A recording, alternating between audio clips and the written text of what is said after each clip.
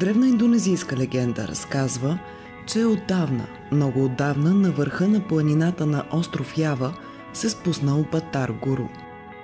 Виждайки, че земята е потънала в мълчание и неизвестност, защото жителите й не са щастливи без ярките небесни цветове, решил да посвети хората в изкуство, даряващо радост. Той протегнал ръце и по полето се разтлали свитъци с платове, а рояци диви пчели му донесли восък. Батар Гуру разтопил със светкавици восъка и той закапал върху белия плат. След това удари тъпън и се сгъстили цветни облаци, а той започнал да танцува върху куприната, оставяйки причудливи рисунки от своите следи, за спомен от миналото за идните дни. Небесата се отворили и се излели цветовете. Сини като небето, зелени като тревата, червени, пламнали като огън в средата на океана.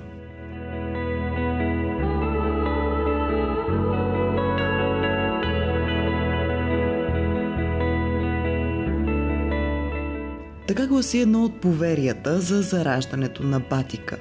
Изкуството обаче намира своите различни проявления и оставя следи в множество култури. Стуването на Куприна се заражда на изток.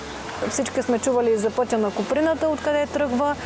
Реално в Китай и Япония, там наистина се занимават традиционно, но и по нашите земи също са работили върху куприна, с, но по-скоро като баграни на тъкани. също се е развивал и бобарството като занаят в, Велико, в, в, в страната, в района на България. Така че малко или много тъканите, които са се такали от коприна, също са използвали традиционното багрене.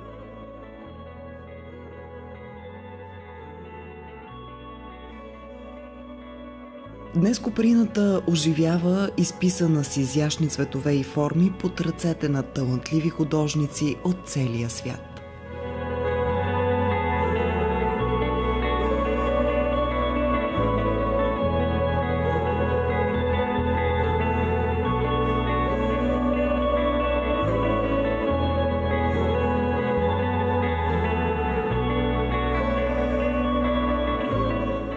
Би преди 20 и повече години рисувам на коприна. Разбира се, в началото много трудно в България се намираше естествена коприна. Та съм рисувала на началото беше на синтетични материи, докато в последствие вече работя от доста години вече с естествени материали. Бои за коприна,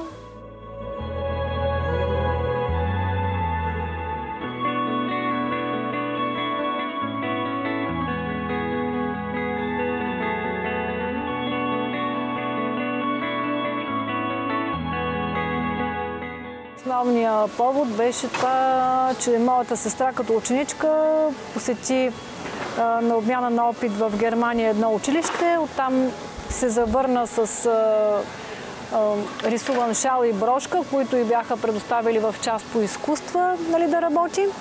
И реално това беше началото. Като интерес, който ми бе привлечено вниманието, провокирам да опитам да видя как се работи на Куприна. А иначе с изкуство се занимавам от дете. И всеки път, всяк, всеки нов занаят, ново изкуство, което съм видяла като занимание, ми е привличало интереса и е възниквало желанието при мен да опитам и да видя как се случват нещата.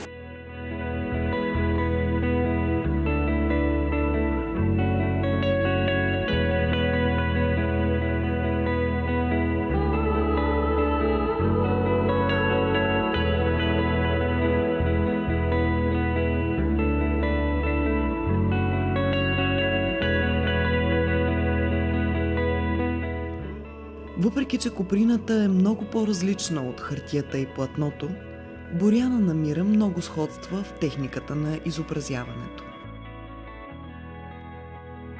Материалите, които са в момента, са вои за коприна, които са специфични на водна основа.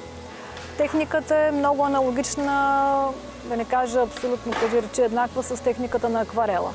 Единственото тук е, че заместваме белия лист акварелен с куприната. Техниките отново са същите като в акварела. Може да се използва мокро в мокро, сухо нали, върху суха основа. Може да се използват различни грундове, върху които да се работи. Разнообразни са техниките, които се използват при рисуването на куприна.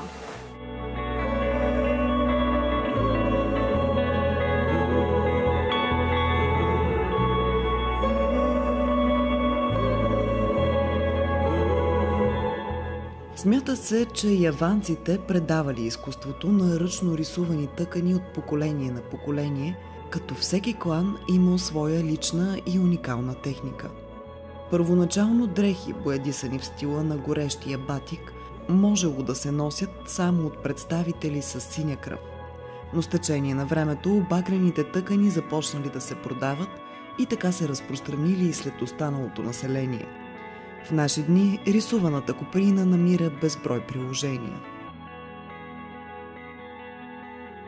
Това, което представям и работя основно са шаловете, защото може би формата, който предразполагат е най-удобен и лесен. но иначе, освен шалове, вратовръзки. Нали, не само и дамската част, ами мъжете могат да носят различни аксесуари, които да са отново рисувани. Ризи, дамски, мъжки, различни облекла. Рокли, блузи, които служат в облеклото на една дама или на един мъж. А също така и за интериорни решения. Могат да се направят десени, които са багрени, рисувани ръчно и да се използват за интериорни решения. Покривки, завеси, възглавници. Определено се ценят. Търсят се ръчно рисуваните уникални творби, защото всеки един майстор, когато рисува и пресъздава нещо, влага емоция, чувства, впечатления, които успява да предаде на зрителите. И малко или много се цени ръчния труд. Имам определено, има на кого да се предаде. Реално в системата на образованието съм от 20 години и малко или много всяка година има ученици, на които се предава този занаят, защото в часовете, които са свързани с декоративно рисуване, с композиция, има много извънкласни форми на обучение, също се представят различни видове занаят. Има и много хора, които имат интерес, искат да се научат. Какво бихте посъветвали младите хора, които решат да се занимават с този занаят? Да бъдат смели и в същото време и внимателни до толкова, че започвайки да работиш и да рисуваш на куприна, освен познания за смесване на цветове, за изграждане на форми и за линии, наистина трябва да имат една подготовка, било то и за рисунка и наистина да са добри художници.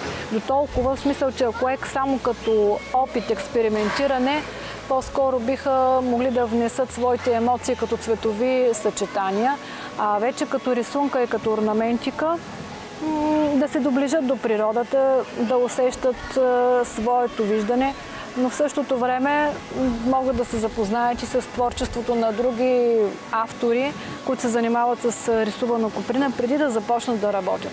Да потърсят малко информация, да почетат теоретично да се запознаят с материалите, с които се работи, защото истина има много литература, която се пише и да се опитат да имат предварително някакви познания, теоретични, преди да започнат на практика.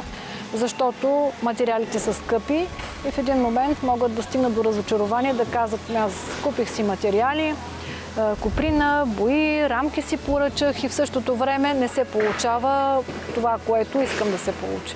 Така че в началото винаги за един непрофесионалист, който е само любител, има желание да започне да работи, може да, да бъде разочарован, но емоцията и удоволствието, което се изпитва от рисуваната куприна, разбира се, че може всеки да направи и да използва.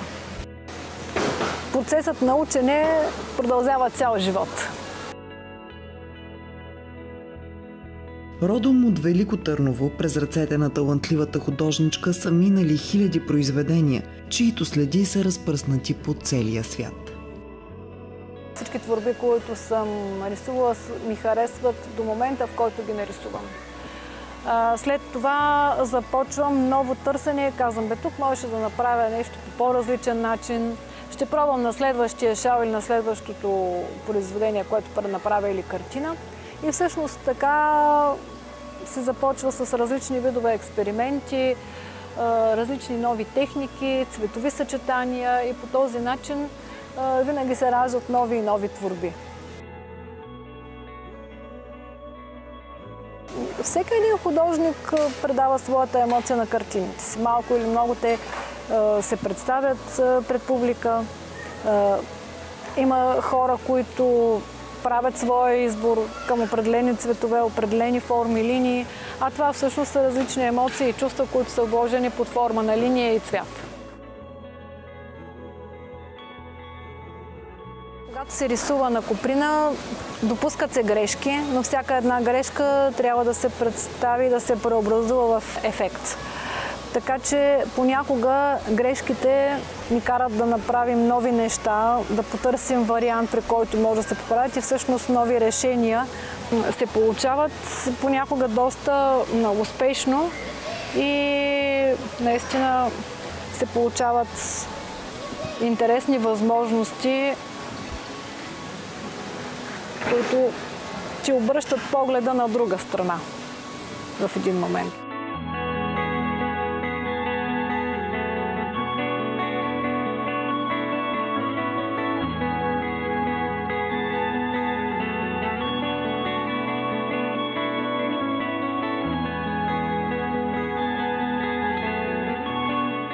За да се издържа човек само от занаят, трябва да има и други умения, които да бъде доста находчив, да може да реализира и продажби и реално да може да се изхранва с този занаят.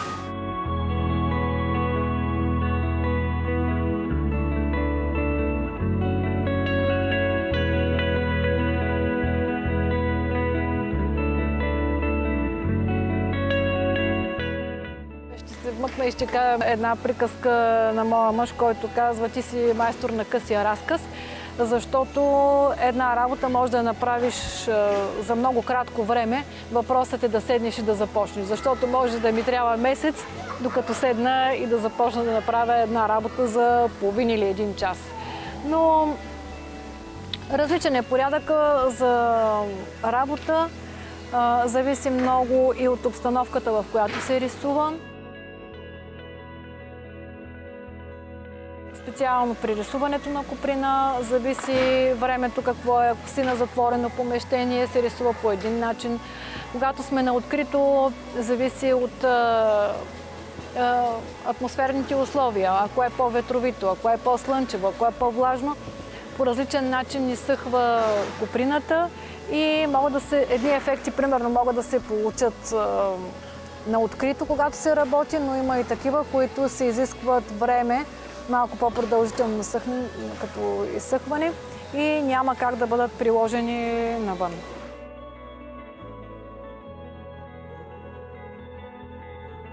Не ми липсват, просто се радвам, че има кой да ги оцени и се радвам, че когато са на шалове, кръстят някоя дама. Съответно, радвам се, че съм доставила някаква емоция и удоволствие на различни хора от картините по тези, които си е, изберат е, картина, съответно да сложат в своя дом. И малко или много се радвам, че частица от мен има в, е, мога да твърдя, по цял свят.